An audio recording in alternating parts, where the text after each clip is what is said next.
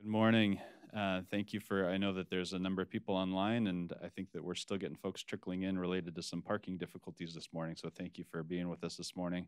I'm Steve Bradley. It's uh, my pleasure to welcome Jan Richardson and Emily Downing for our kickoff to um, our CV work in serious illness conversations. I'd first like to thank uh, Boehringer Ingelheim for supporting our grand rounds this morning. Um, by way of introduction, um, those who don't know me, I think you probably all do. Steve Bradley, I'm a general cardiologist, and uh, Jan Emily and um, uh, Glenn Varnes reached out to us to ask uh, the Healthcare Delivery Innovation Center and myself and Craig Strauss about how they could work with us and partner with us to bring this work to the cardiovascular service line uh, is in serious illness conversations. And so this is our kickoff to that uh, integration of MHI and the cardiovascular service line and serious illness conversations. Um, our speakers today, Jan Richardson and Emily Downing. Jan Richardson's an internist, and she's worked both in the hospital and the clinic at Bandana Square for 20 years. She's now the physician lead for the Serious Illness Care Program. She's a graduate of the University of Colorado and completed a residency at the University of Minnesota. Chicago. What did I say? Oh, well. Geez, I skipped. Yeah, I skipped over. Yeah, Chicago. Thank you. So, and then Emily Downing is a internist and geriatrician. She serves as the system clinical officer for population health, home care services, and health equity for Allina Health. Dr. Downing is a graduate of the University of Minnesota Medical School and completed her residency internal medicine geriatrics fellowship at the University of Colorado School of Medicine. Passionate a bit about population uh, health care for seniors and delivering care in the home wherever possible. Um, so thank you both for being here today. Thank you all for being here. And today they'll be presenting on the Serious Illness Conversation Program. I'll serve as a bit of a mediator discussing some of these components and how they um, apply to cardiovascular care to try and help think about um, integrating this work. And thank you to both. Welcome.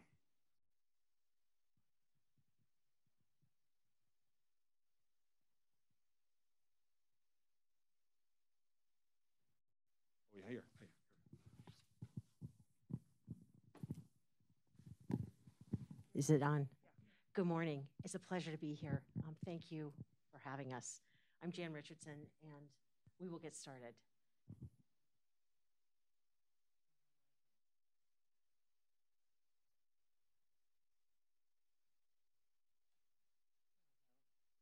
Let me just say, um, as um, Dr. Bradley said, I'm a primary care doc.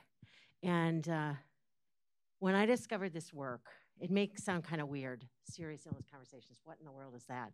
But when I discovered this five years or so ago, um, this changed the way I practice medicine. Not, not just for my seriously ill patients, it changed the way I talked with all of my patients.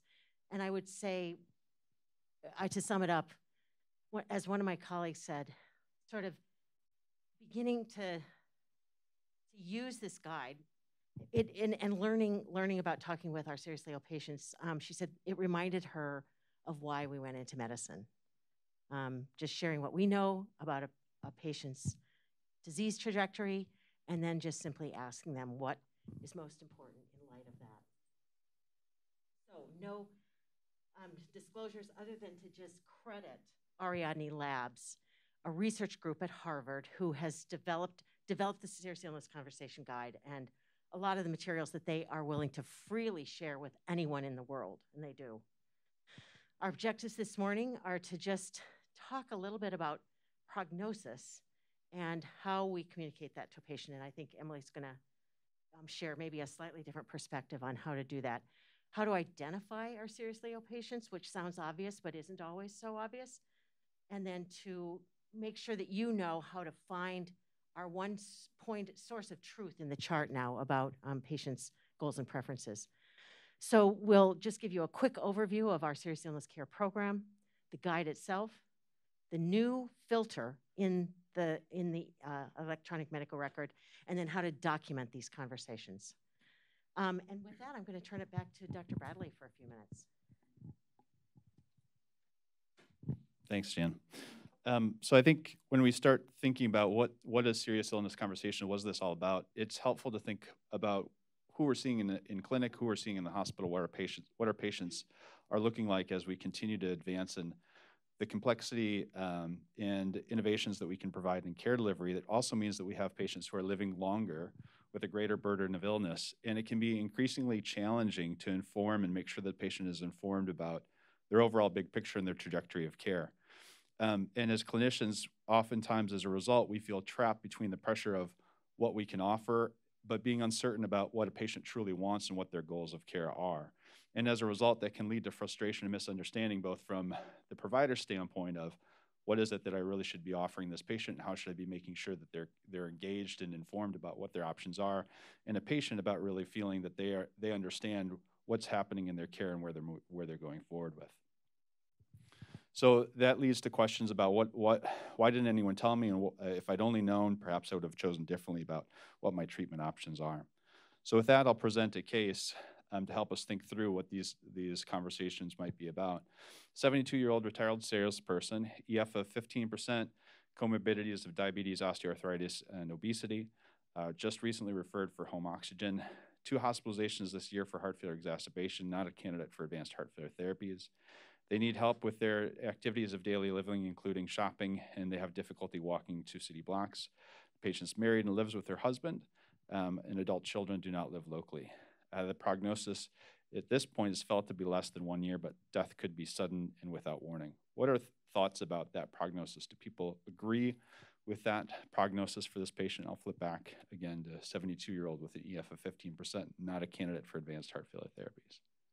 I'm seeing some nodding. So there's a general consensus that this patient has a, a serious illness and their, their long-term pro, uh, prognosis is poor. What do you expect their medical course to be over the coming year? They've been hospitalized twice in the past year. Quite likely that this patient would be hospitalized again. And so understanding that, um, I think the question becomes what would help the patient most at this time in terms of understanding? I think one of the challenges is that uh, we sometimes fail to use that opportunity of having patients experience these events to have conversations about what that means about um, what we've learned from their past history and what that means about where they could be going forward. So with that, what is a serious illness? Uh, what is serious illness communication? It's conversations about the expected course of serious illness and the patient's goals, values, and priorities that can inform treatment decisions. So in this patient that we, we discussed, this 72-year-old, they've had multiple hospitalizations. They're not a candidate for advanced heart failure therapies and having a conversation about their expected course of their serious illness can help understand what are their goals, what are their values, what's important to them as we look to achieve care that's consistent and concordant with their goals of care. This type of advanced care planning is not about code status. This is not about filling out a post. This is about better understanding um, where they where they where they intend to receive their care, what's important to them as they continue to move forward, um, and not necessarily an end of life discussion. Um, and Emily, was there anything you'd add to kind of that general concept of what a serious illness communication conversation is about? Yeah, I might just add, and it, I think it warrants seconding that the serious illness conversation isn't saying there isn't anything left to do for you. Um, a lot of clinicians fear that, and this conversation is the start of what is yet to come um, in having that open dialogue with your patients to understand what they want so that when you may get to a point where you're talking about those topics where you really think there isn't anything that there might not be or you really want to talk about something like hospice you've had this precursor conversation with your patient so that you're aligned and you understand their goals. So um, part of the intent of having this this introduction to serious illness conversations is to help us move these conversations further upstream. And so if we think about advanced care planning, it's about um, moving further and further upstream from uh, avoiding the lights and sirens discussion of a patient who's at the end of their life and, and really having the very um, kind of end discussions about what's important to them as they're at, at their terminal stage and more about this is a patient who, within the next year, we expect that they likely would be hospitalized again, and what's consistent with their goals, and how do we make sure that the care that we provide is consistent with what they would want. Um, over time, I think it's important to patients will oftentimes, as we know with chronic illnesses, there's peaks and valleys in terms of how they progress. And so they see themselves recover to a, to a peak, and it's important to help them understand that that peak isn't necessarily the overall trajectory. The overall, overall trajectory of someone with a serious illness is that continuous, continuous downward trend. This is an opportunity to have a conversation when they are feeling better about what's important to them when they have another decompensation in their serious illness over time. Anything that you would add to that, Jan or Emily? Thank you.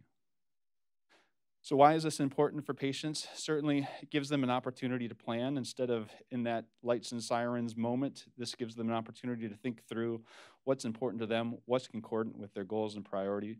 It helps them achieve better quality of life, making sure that the care we provide is consistent with their goals. And then it has implications in terms of hospitalizations and costs. So, if patients um, indicate that they are not interested in further hospitalizations or further advanced therapies or invasive therapies, it can be helpful to have those conversations so we avoid hospitalizations and procedures that aren't consistent with their goals of care. And currently in our country, the vast majority of hospital uh, hospitalizations occur in uh, a vast majority of patients uh, have a hospitalization in their last 90 days of life. And the vast majority of patients don't want that in their last days of life. So having these conversations earlier allows us to ensure that the goals of care are outlined and that our care is concordant with what they want.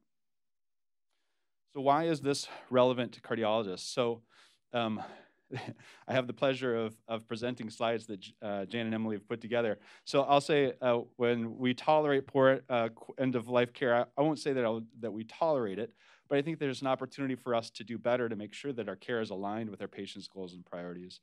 Um, and this is a, an area where I talk about sometimes poor measures leading to good efforts. So I think we have a poor measure in that we measure in hospital mortality. And one of the ways that we account for in hospital mortality is all patients who die. But patients who are DNAR when they come into the hospital don't fall into the, denominator. So you can improve your in hospital mortality by having more patients who are DNAR. Now, I think that's a poor measure, but it speaks to important care delivery, right? It's important for us to have these conversations about goals of care and making sure that patients who do not want these advanced therapies, who do not want to come back into the hospital, who want to be um, cared for in terms of uh, their goals aren't to be in the hospital and that they would not want to be resuscitated, that we have those conversations so they document it and so that we achieve that measure by providing good care. This is an Allina Quality Initiative for 2021 uh, and beyond, so this is for hospitalists, primary care providers, and oncologists. Now it's an opportunity for cardiology to be involved in this care, this uh, this work as well. Maybe I can just uh, qualify a few things. And Steve, you're doing a great job on these slides that uh, Jan and I prepared. Um, so when we say we we tolerate poor end of life care, it's more our global we of our healthcare system, and really that, and and maybe this is just our perception, but that um, good, high quality conversations, really focusing on planning with each patient every time who we think is entering end of life, isn't a consistent practice yet. It's um, it's maybe seen as a secondary or a choice to continue to to do that. And that's why we call it a quality issue because it really should be a consistent part of care for every patient every time. And we're just not there yet. So it's not specific to cardiologists, it's just us as a healthcare system and I think one of the the challenges is sometimes as a subspecial as a specialist or subspecialist in clinic or in the hospital, we oftentimes um, may reflect that this is the this is the role of the primary provider. So either the hospitalist in the inpatient service or the primary care provider in the outpatient clinic. But I think it's important that those hospitalists and primary care providers often turn to the specialist or subspecialist to provide guidance in terms of what the prognosis is. They may not have the same degree of insight and knowledge about what it means to have end stage heart failure or to have untreatable valve disease or um, severe ischemic heart disease, so on and so forth. And so it's important to include the consultant. It's important for the con- consultant to be involved in these conversations. And the conversation is at the heart of, the, of all informed decision making. So oftentimes we as the specialists are providing guidance and, uh, conversations about therapy options and procedures. And it's important that we have these conversations as well to ensure that the therapy we're offering is consistent with their goals of care. We're all part of the continuum of care, and it takes many conversations and um, one of the key components is there's not enough palliative care doctors to provide this care. Um, when I was at the University of Colorado in the VA, I worked closely with a, with a palliative care doctor whose entire work of research was around creating the systems and structures that more of us could do this work. And this is the, this exact type of work so that we can be involved in having these converse, conversations and moving uh, care delivery forward that's consistent with patient goals. So with that, I think that my slides are, are done, and I'll hand it back to Jan and Emily. Thanks, Steve. I might also just add one here. Um, the primary care provider should be at the, the core of how these seriously ill patients are managed. And you probably see this as much as those of us who practice primary care. in that our patients need to be hearing consistent messages um, from everyone involved in their care. And so having the consultants engaged not only in understanding the goals, but in helping assess prognosis, helping communicate prognosis that isn't just relevant maybe to what's going on with their heart, because they are, regardless, they're still that whole person in front of us, right? Is really important. You probably have had barriers in providing this type of care consistently every time for every patient. And my guess is that they're similar to what uh, other providers have told us are their barriers. Time. We hear this is a time consuming process and conversation. And this is one of those areas where when we say our health system tolerates it, this is one of those things time. We're not structured to have time to do this consistently well. And it's one of those things we need to really think about as doctors, does this matter to us to have the time to do this? And, and how do we make the time and how do we make it consistent, consistent time to do this well? Understanding about prognosis and fear of dashing hopes. So providers say, well, I don't know what the prognosis is. Can I talk to my patient if I'm really not that certain about what the prognosis is? And then fear of dashing hopes. My patient will give up. They'll think I've given up on them. Um, and of course, none of us want our patients to think we've given up on them. And fortunately, what we see is that when you actually have these conversations and you do it well, your patients don't feel like they like you're giving up on them. They feel like you're focusing on them and they feel like they're not alone. We hear a lot our patients feel alone when they feel their body's failing and they don't feel heard um, or that that that failing reflected back to them. And then we hear our providers say they haven't been trained to do this to have these conversations, which is true. 68% of providers have not been trained in these conversations. And if you're like me, I didn't get trained to have these conversations as a medical student.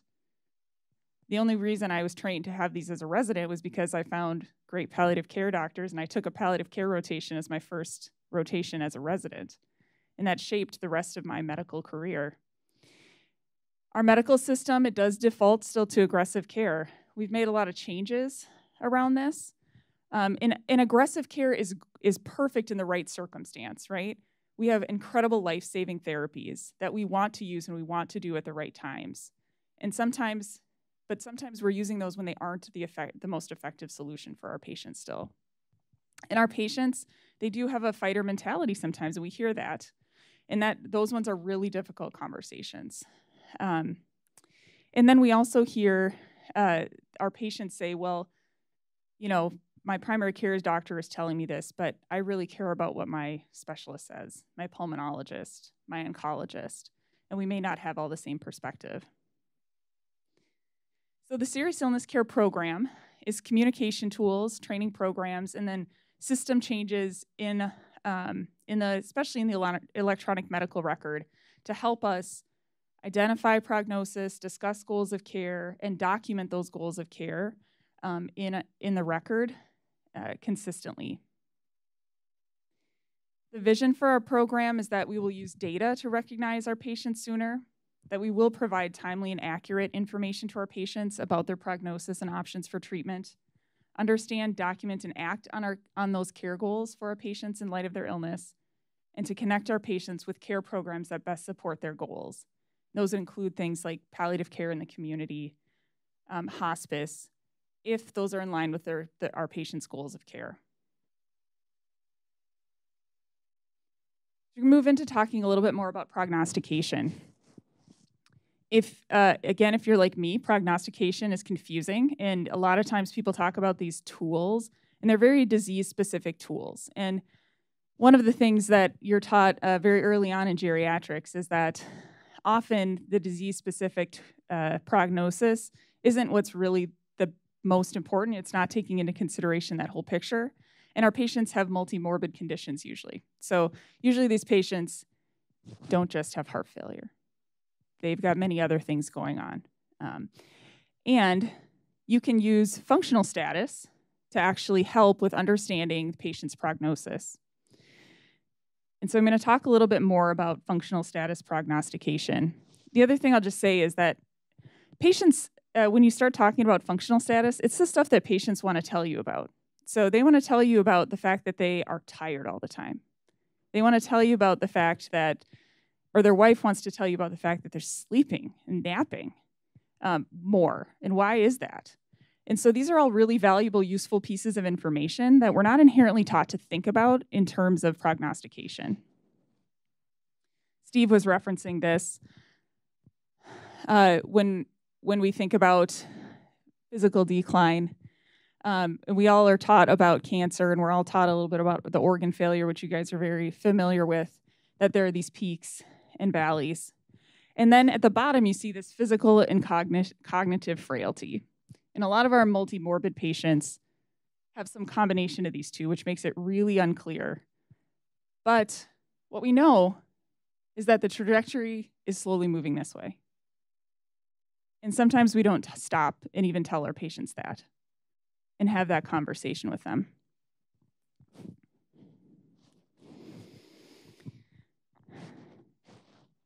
So, when we communicate prognostication, even if we don't know exactly how long, and we'll hear this in the guide, just saying things may not get better, things are likely to progress and get worse. Our patients appreciate that, and, and it doesn't take away hope, doesn't cause depression or anxiety, and it doesn't harm our relationship with our patient. And some evidence actually shows that it helps our patients with peace of mind and helps us align with our patients.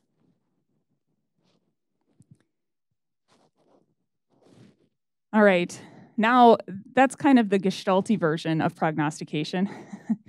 this is the less gestalty version. This is the data driven version of prognostication. So we've been working on um, an actual score that helps us identify patients who uh, have a high risk of mortality um, over the next year and also could benefit with uh, serious illness intervention or palliative care.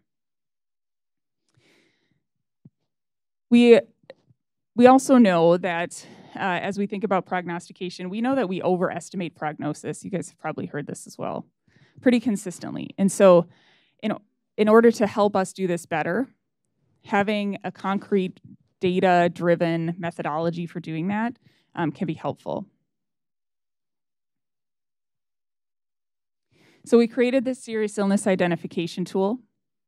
And what it does is it looks at Actually, it's like 128 different elements um, that go into this. Looks at diagnosis factors. You can see here again, we're looking at how do we do prognostication better, especially in our multi-morbid complex patients that don't just have one specific illness. So it ac accounts for all of these different diagnoses. It also accounts for specific lab values, medications, has a patient been, uh, is the patient on oxygen? And then it takes into consideration utilization factors such as has this patient previously seen palliative care? How often have they used the hospital or the emergency room? It does not include anyone who's actively enrolled in hospice because those patients we feel like probably don't need to be flagged for additional serious illness interventions.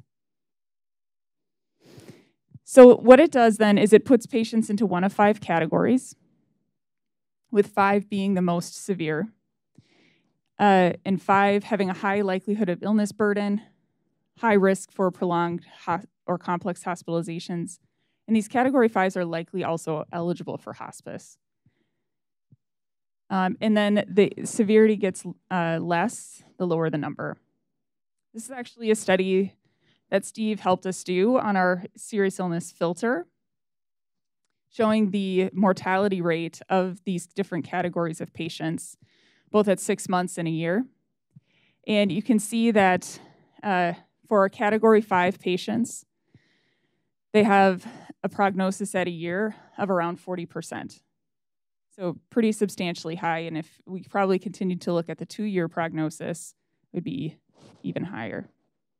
So these category fives are where we're really focusing just a couple, so you can pull this into your patient list. It's pretty easy to find in, in the medical record, and we have some tips sheets that we can send out around that too. There are a couple just caveats. So it only uses the Allina's EMR data. If the patient that you're seeing cares is receives their care predominantly outside of Alina, they may not have a score, or they may generate a score that maybe isn't consistent with your clinical assessment. And just to point out, this does not replace clinical judgment. This is supposed to be a supplement. And we built it to be very specific and not sensitive. So if there is a five there, it's probably right. If there isn't a five there, it doesn't mean your patient isn't seriously ill. It just means that there isn't enough data, either from our EMR, uh, to support to support an actual score. All right, I'm going to hand it over to Jan. Add just one more thing about, I guess, identifying patients. An incredibly useful tool, other than the filter, is the surprise question. Is this on? Um, which maybe some of you have heard of before, but um, I found it made a difference for me. Would I be surprised if my patient died in the next year? If my answer is no, it's time for me to be talking to my patient about what I can see is ahead for them and what they want. I think without asking that question in the clinic, I think I subconsciously would always say to myself, well, it's not time. They're nowhere near. They're nowhere near needing anything in anything end of life. But the surprise question is, is a universally agreed upon um, helpful identification tool. Okay, just we're, we're going to very briefly show you what this guide is and actually show you a short video that demonstrates a conversation. This guide was developed at Ariadne Labs. The executive director of Ariadne Labs was Dr. Atul Gawande, who many of you probably know. He's a surgeon, a writer. Um, some of you may have read Being Mortal, which is an amazing book I recommend to all of you. But much, excuse me, much earlier, in 1990, he was part of an international group of surgeons who developed the surgery checklist, and he wrote the, the checklist manifesto. He used some of the same principles that they used for the surgery checklist in thinking about how do we talk to patients about their wishes. Um, and uh, so, like the surgery checklist, even though the guide is by no means a checklist, it helps, as it says here, ensure completion of necessary tests during complex, stressful situations. Man, oh man, having that guide in front of me, it lowers my anxiety and it lowers the patient's anxiety. Um, it was developed over four or five years with tons of focus groups by Ariadne, and it's now used worldwide. And it's the basis for the documentation in the chart now, which is just a reflection of the fact that it's pretty widely accepted. It is, in fact, an effective and an efficient tool. They crafted the word, the every question, the wording of the question, the sequencing of the questions are carefully designed to foster alignment with our patients and to signal to our patients we are not this is there's nothing this is not urgent today. We don't need to make any decisions today. We are not signaling the end of treatment. Um, we're here to explore with you. So, overall arc of the conversation probably is going to look very familiar. We know that all of you are having these conversations. Um, I think we all were. It's just that this guide really can really make it easier. Set up the conversation and and and explain the rationale. We're gonna we're gonna step back from what we normally do you know, my post-hospital follow-ups from a CHF exacerbation. Okay, what's your potassium? Let me look at your ankles. Let's see if your blood pressure is okay. Great, I'll see you in three months. That, that was my post-hospital visit. And that changed for me. It's like, let's schedule a separate appointment in the clinic, I would say, to step back and look at the big picture here. Number two, assess their understanding of where they are with their illness. Number three, actually take the it, it time to intentionally share prognosis and then to move on to explore their goals and priorities in light of that prognosis and begin to by the questions we ask to begin to signal to them that the time is likely to come when they actually have to choose between trade-offs and then finally to close with recommendation so now john's going to help me if i mess up Hit, hit escape, thank you. Thank you. This is a 10 minute video produced by Ariadne Labs.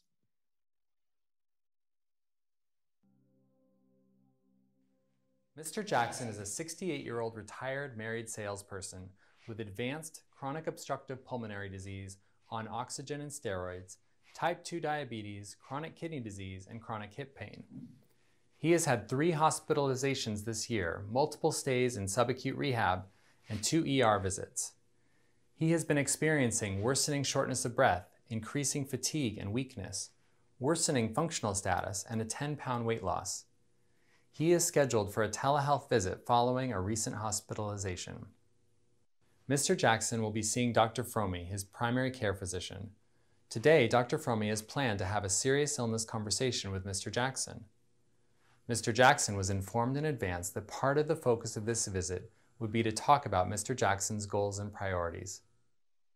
Dr. Fromme's goals for this conversation are to ensure that Mr. Jackson understands what may be ahead in the setting of his existing medical conditions, and to explore Mr. Jackson's goals, values, and preferences for care in the future.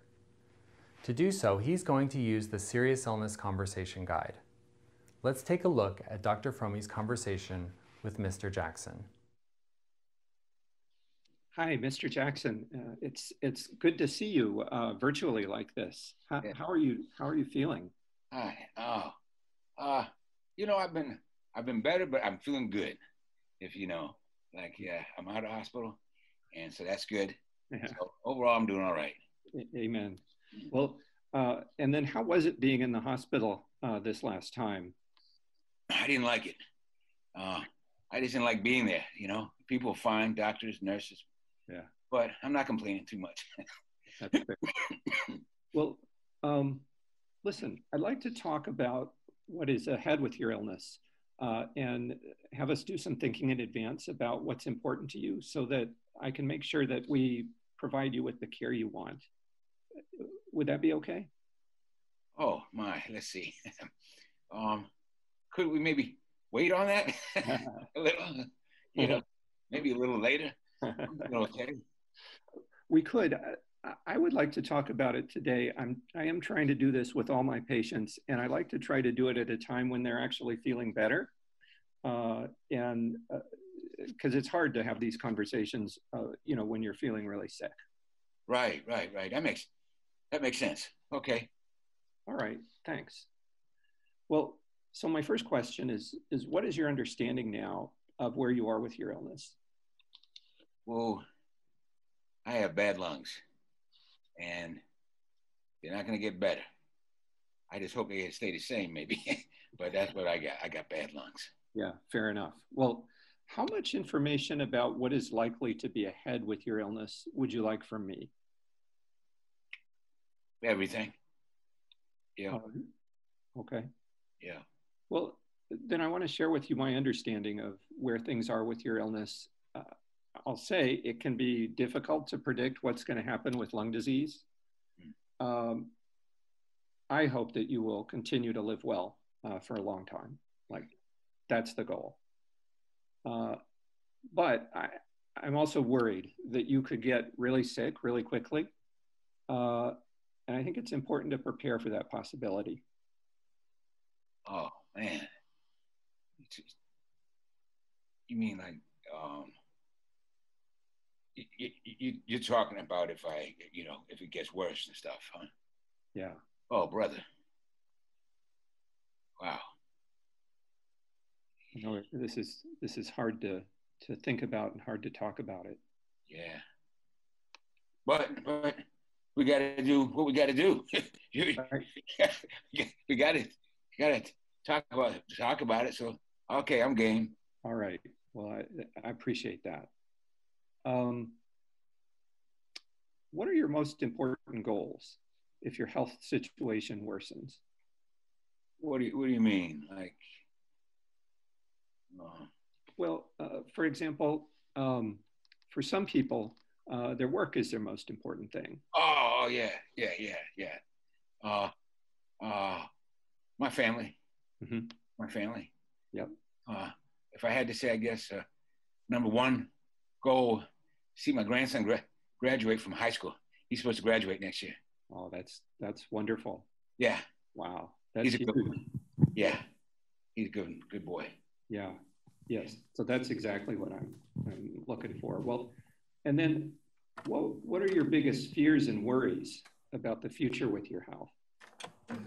Uh, having my wife see me suffer. I've been thinking about that a lot. Hmm. And uh, I'm not looking forward to suffocating. You know. All right. Yeah. That's fair. Yeah. Actually, you know, uh, it, you're, it's great you still have your sense of humor. I would like to come back to that uh, uh, subject later because I think there's a lot of things that we can do uh, to put a plan in place to really help uh, prevent you from from feeling like you're suffocating. But Yeah. Do you mind if we uh, kind of finish this line of questions first? Sure, that's fine. Okay, great. What gives you strength as you think about the future with your illness? I look to God as I lead my life. I'm not a big churcher, but I do look to God, and that helps me. Sounds like it's Hmm. Yeah, that's Yeah, that's sorry. that's That's okay. wonderful. Well, We could And then- get it to you. what abilities are so critical to your life that you can't imagine living without them? Like, like, like what? Like, uh, Well, a, a, a mentor of mine, uh, her father told her that as long as he could sit in his easy chair, watch football on TV, and eat chocolate ice cream, then he was good. excuse me. Yeah, I like that. That's funny. Yeah, I see what you're saying. Um, I, I would like to be able to take care of myself. I mean, physically take care of my, Hmm. myself, you know, Yeah, by myself, like a bathroom and wash myself and stuff. That's that's a big thing for me. yeah, Yeah, that makes sense. Yeah. Well, if you became sicker, how much are you willing to go through for the possibility of gaining more time? Oh, you mean like uh, what what kind of medical stuff I would be willing to? Yeah, for Yeah. example. Yeah, right. Uh, well, that's a tough one because a couple of times ago, as you know, I was in the ICU, and I, I don't know that I want to go through that again. Hmm. But at the same time, you know, uh, you know, I, I got out of it, so I, I'm not, I'm not sure. That's a tough, tough one to answer. Yeah. Well, uh, actually, just me hearing that you you've had that experience and you're a little bit on the fence now uh, is really helpful. I, I I don't think we have to make a decision about that today, but it's really helpful for me to know uh, that about you. Okay, good, good. How much does your family know uh, about your priorities and wishes? The stuff we've been talking about. You know, that's a good question. I uh I've tried not to, you know, upset my wife, even my kids. They're adults, they're all, you know, but uh I don't want them to worry too much, so I haven't really talked about it with them. Hmm. Yeah. Well, let me see. Uh, let me try and summarize what I heard you say, and y- you can correct me if I uh, get something not quite right. But um, what I heard you say was really the important things for you are, are your family, seeing your grandson uh, graduate from high school, not seeing your wife see you suffer. Uh, that it's important for you to feel like you can take uh, care of yourself physically uh, and that you've had this experience of being in the ICU and, and are not decided yet, maybe about whether you want to go through that again. Yeah.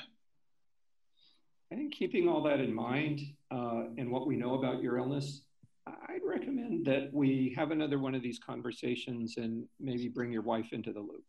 Uh, what I'm thinking is one way that we can make this easier for her and both of you is really uh, to have her hear kind of what's important to you uh, and what the plan is so that when things happen, she doesn't panic.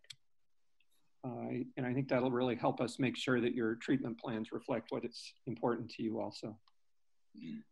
How does that plan seem to you? You know, that makes sense to me, Doctor. I think it might help her. 'Cause I, I think she would like that. Good, good. I'm glad to hear that. Yeah. I, I want you to know I'll, I'll do everything I can uh, to help you through this. Thank you. I appreciate that. Yeah, you're welcome. So uh, I'd like to come back to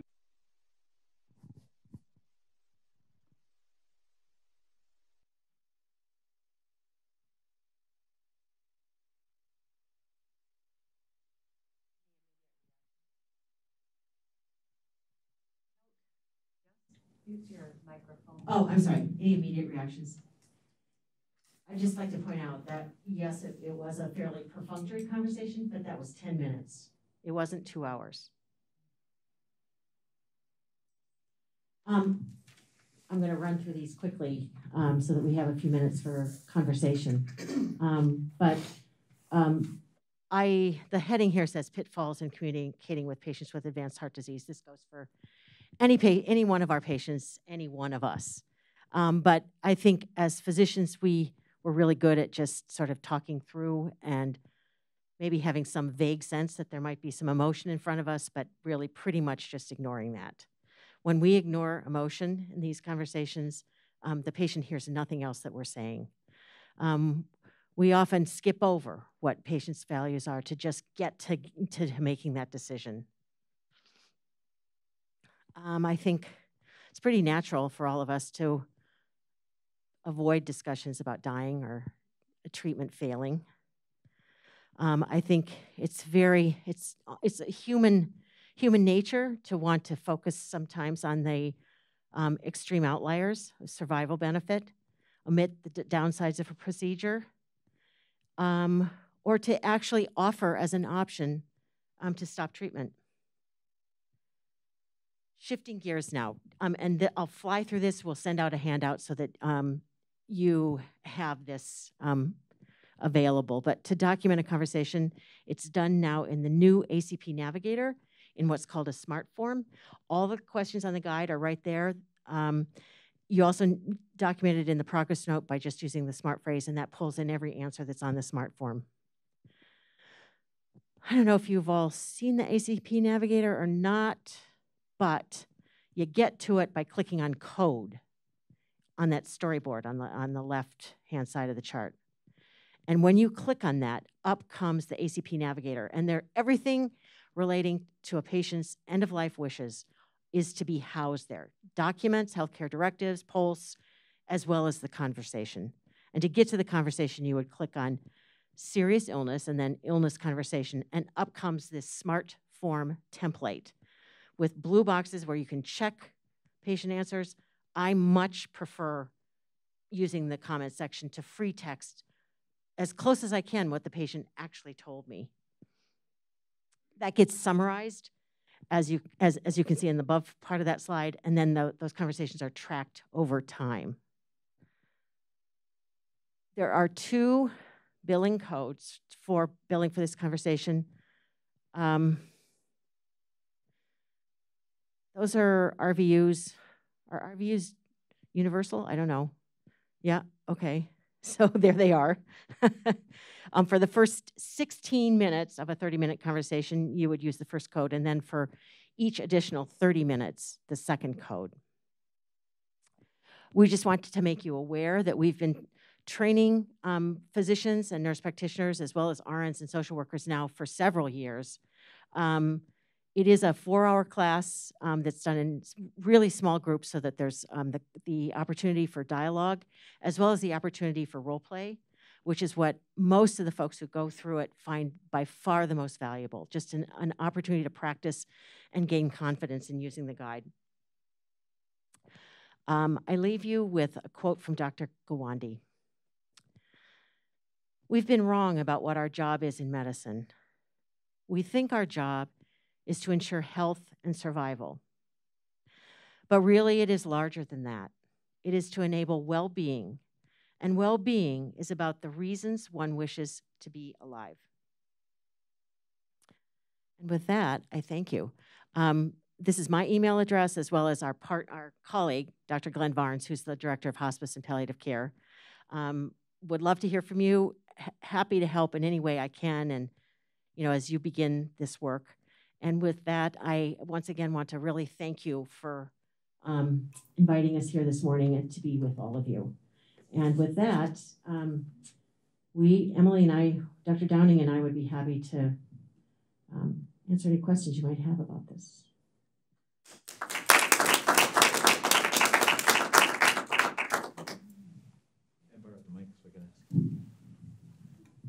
Thanks for that um, very much. I think one of the challenges I run into as I think about um, having this conversation with the patient is getting to a place where I need resources that I don't know where to get them. So a patient who uh, has a serious illness, I have a conversation, they make it clear that their goals of care are to avoid further hospitalizations, to avoid further invasive procedures, and that they really want to focus on comfort being at home. And, and then I'm in a spot where I need to figure out how do I facilitate that? And I don't have a clue even when I'm in my most frequent clinic and far further when I'm in an outreach clinic out, you know, far from the city. So would love your thoughts and guidance about, you know, it's one thing to have the conversation, but when you get to a point where you want to move it forward in terms of enacting the, the goals and what's been outlined with the patient, how do we facilitate that? I'm going to turn to my colleague. Yeah, that's a great question.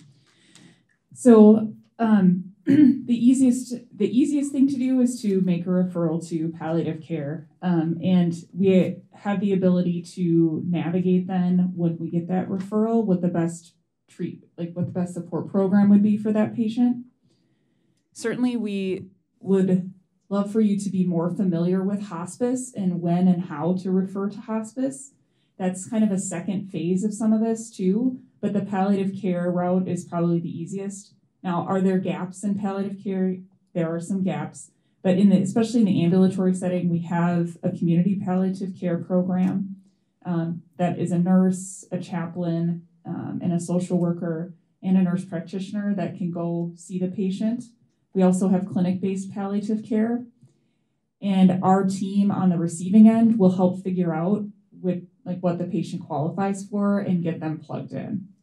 So we're, we have heard this from many uh, many other providers, um, and that's what that's what we we recommend. So you don't have to even know, but you would probably need to be able to tell the patient that someone's going to call them to talk to them about what their options are, um, and and we can help with, you know, some education, some further education about that. Thank you. See, Scott has a question. I'll take your mic over to Scott. sorry. Well, first of all, I'd like to thank you, all three of you, for shining a light on this really important topic.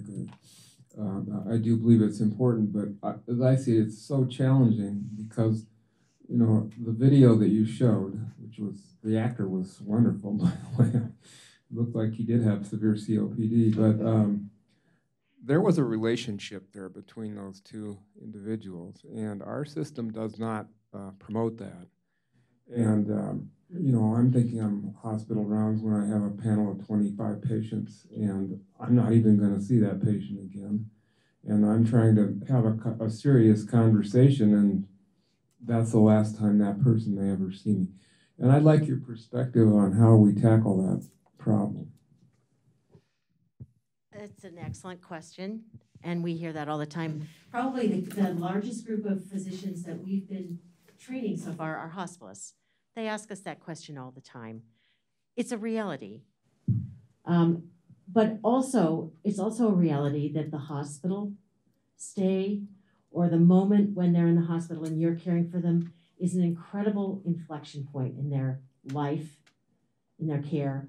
And I just don't think that that should stop you. Um, I think you might be surprised. Um, I think the patient and their family may actually thank you for, for you know, for the first time um, voicing what they've known for months and being direct with them about, you know, the elephant in the room. But I, I, I certainly appreciate what you're saying and your concern. Emily, do you have anything to add to that? You know, it, I would just second that, that it's the first time you're meeting a patient isn't always the wrong time to have a serious illness conversation. Um, I've had many conversations with patients where that's the only time I've met them, and I don't even really know what happened after that um, except that at that moment, that was the most important thing to talk to that patient about. And if they seemed ready, especially if, you know, sometimes you walk in and you hear that the patient and the family are confused and frustrated and don't understand what's going on. And they might even say, you know, I just can't believe I'm, you know, I'm going through this again. Or I just can't believe this is, you know, some of these things that that they that are kind of like they're they're almost they're welcoming phrases for let's have a conversation um, and and and I also hear from families that they that have gone through situations with their loved ones in the emergency room, for example, where the emergency room physician didn't say anything, the admitting hospitalist didn't say anything, and now it's six days into the hospitalization, and every every provider is a new provider, and they wonder, as their loved one is, you know, maybe even actively dying, why did it take so long for someone to say something? Um, and I, I, and I say I don't know. I, I don't know. It looked like your loved one was very, very ill when they entered the emergency room, and now it's five days later. So it's a really good question, and it's a really hard answer, and it it often is the right thing to do. But when you have 25 patients on your schedule for the day, it's really hard to do, too. Our emergency room, the emergency room physicians who serve um, Abbott and, and United asked for this training, and we introduced this to them this summer in July. Um, and Dr. Sarah Friedman really believes that there is a place for these conversations in the ER. The, the, the trajectory gets set in the ER. And, and what happens in the ER gets continued in the ICU and don't don't forget, you know, you're you're the specialist coming in. You're the you're the voice of authority and the expert. And it could be there are times when that patient, well, is going to be is going to be looking to you for for the truth. Right? Other questions? That was a really long answer. so there's just one online question thus far, and it's can you please remind everyone where the serious illness conversation template is located in Excellian? Yes. So first of all, the um, that template that I showed you is in the ACP Navigator, which you get by clicking on code in the storyboard, and it will it will pop up there when you click on serious illness conversation. We can send out a tip sheet. Maya, I think you could post. Also, I didn't think to bring the guide itself, which which um, we'll post with the video we can post it on the Grand Rounds um, webpage that will be linked to this conversation. Thank you. I have a question. Is there a patient version of this? In other words, you know, ideally, if you're sitting in the hospital and you're, it's almost like a little journal, you know, or a mini version of the book. But, you know, if there was a patient version where they could you know, because the it was hard for that guy to think on the spot. Now those were, yeah, yeah. You know, he produced legitimate oh, I'm glad answers. You, yeah. But you know, if you think about this, this is needs some pondering, and it could be something that the patient with their spouse could absolutely. I'm so glad you brought that up. So we'll share those resources as well. Ariadne produced two patient pieces, and one is titled "Talking with Your Clinician About the Future." And it's in patient language. It's reflecting a lot of this, basically the questions that are in the guide, but helping them to begin to think. And in the clinic, what we do is when we're setting up, we have this luxury that you don't have, but we we set up an appointment ahead of time. The RN explains to the patient why Dr. Richardson was is proposing this special visit, and then the RN sends out this discussion guide. There's also another one titled, and it's even a little bit more of a workbook. It's several pages talking with your caregivers about what's most important. Yeah, those are available on the AKN, but we'll for sure we can share them with you. Okay, uh, that would be. I think that's a fantastic resource. I think um, you know along the idea of engaging patients, empowering them to be active in their care delivery. Uh, there's recent work in in heart failure space that shows by informing a patient why they're on medications, what medications we're trying to achieve, what goals, and that helps them think about what things they want to ask about at the next visit in terms of how they're going to uptitrate their medications. In a similar way, priming the patient to say, boy, I really don't understand what my trajectory looks like and, and, and have and helping them to engage us to engage in these these conversations, I think would be fantastic. Both, I mean, there's a lot of time where patients are sitting in the hospital waiting and thinking about when's the next time they're going to see their doc and and engaging patients in those opportunities to to, to think through and, and have them think about what questions they want to ask. Yeah. So they can understand Yeah. those things. Um, because sometimes I think that they assume that we're going to provide them answers to the questions, but they may not think to kind of have those questions in hand. Yeah, I think of this conversation as being incredibly empowering for the patient and their family. Merely asking patients these questions, they may well not have all the answers. You're like, what, what are you willing to go through for gaining more time? Well, you know, they have made no idea how to answer that question the first time, but they've heard it once, and they're going to be thinking about it. And the next time they may be a little bit more prepared.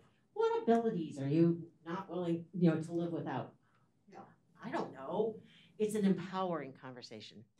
And the one last thing I would say is, um, as I've shared this with my my colleagues, my friends, my family, almost invariably, you know, the person I'm talking to thinks of a loved one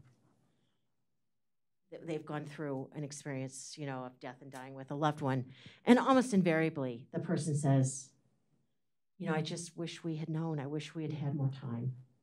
And in some ways, I think that's one of the biggest gifts of this of all, um, is to give patients and their families the time to, to spend spend their days living until death. Question.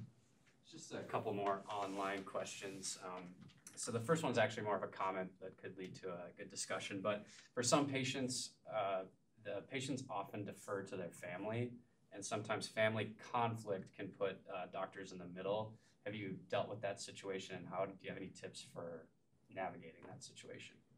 Absolutely. And I think that's another power of this conversation. This conversation, I, I always invite, one or two family members, you know, key decision makers over to come to the appointment. You would hopefully have a family member sitting in the room with you in the hospital, or perhaps even the clinic. It's made very clear to the family member that they are there to listen. And it was amazing how often, you know, family members um, thanked me afterwards for the conversation. A 95 year old couple came in, and, and the wife said afterwards, I learned things about my husband that I never knew in the last half an hour. Um, does that get rid of all conflict? No. But you can start by having the patient, the, having the family listen to their loved one. And sometimes that loved one, that patient, will say things to you that they haven't quite had the courage to say to their family about what their goals and priorities are. I'd just add that um, those are the ones that are for sure the most challenging. And going through this, you get some train, you know, some of the support that we can provide is support for how to mediate in those types of conversations, because there is a definite need to redirect often in the conversation um, back to the goals of the patient and recognizing that some of these things you're talking about are just really messy where you know there are patients living in as family members living in different places. They have different perspectives. Um, but uh, when you start doing it more consistently similar to like when you see a palliative care provider lead a family conference you start doing it more consistently you get a little better at it Um, so there's just two more questions. If we have time for that, that that'd be great. Um, we can go through these quickly here. Um, so along those same lines, uh, do you tend to do these conversations in just one visit, or it, is there any times that where they come back just because these conversations can be overwhelming? So is do you typically do this in one visit, or is it kind of a multi-step process? I typically do it in one visit, but that being said, it could be that it could be that it'll be part of the conversation, and and that just highlights the important point to make, which is this is not a one-time conversation. This this is going to be many many conversations over months, um, but no, it all depends. Maybe you get so far in the conversation, and that's all that all that the patient wants at that point. Yeah. Thank you. So the last question is just about perhaps uh, language barriers. You know, you had shared that resource that was in English, perhaps, you know, some complicated language in there. Is there other languages that these documents are available in? And do you have any translators that have been trained in these conversations? That is an excellent question. And I think one of the things our program needs to do is to gather some interpreters who can really have a better understanding of what this conversation is. Um, the guide is available in a number of languages, but unfortunately not Hmong or Somali at this point, um, for instance. Um, and, and that's a very, that's an excellent question. But we always make the point in the training that if you're going to be working with an interpreter, this is one time when you pull that interpreter aside before you go in the room and try to explain what this conversation is about and that this is going to be very, very different. With that, I'll, I think we'll close. Thanks so much to Dr. Richardson and Dr. Downing for being with us this morning, and thank you all. Have a good rest of your day.